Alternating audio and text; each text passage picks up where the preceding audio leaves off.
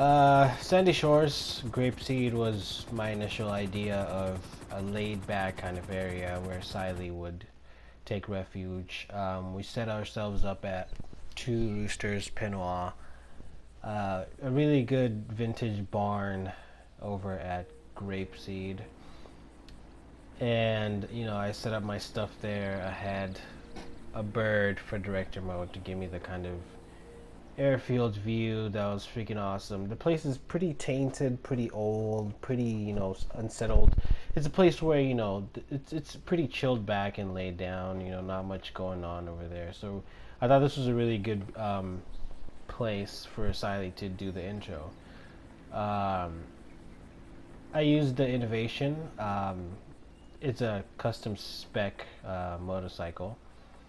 Um, it was purposely given the black color to represent Siley's new, you know, Siley's new silence, and not just from the color, but from the looks. And even the area was was quite amazing because it was just a good place. You know, those animals, there was barns all over the place, plantations, and also I think the best thing was the fact that it was, you know, really right next to the lighthouse, and gave the intro that good new feeling that I wanted for the movie.